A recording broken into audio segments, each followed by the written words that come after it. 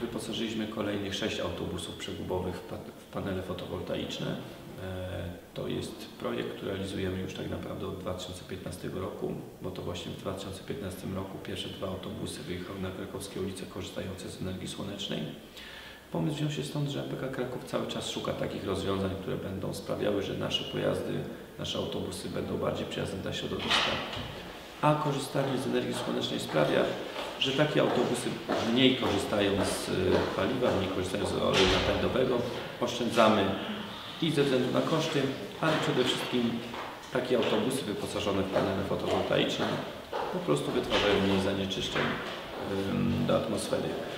E, Korzystanie z tych paneli fotowoltaicznych sprawia, że te urządzenia, które są w środku autobusu, takie jak kasowniki, jak e, automaty biletowe czy oświetlenie wewnętrzne, korzysta właśnie z tej energii słonecznej.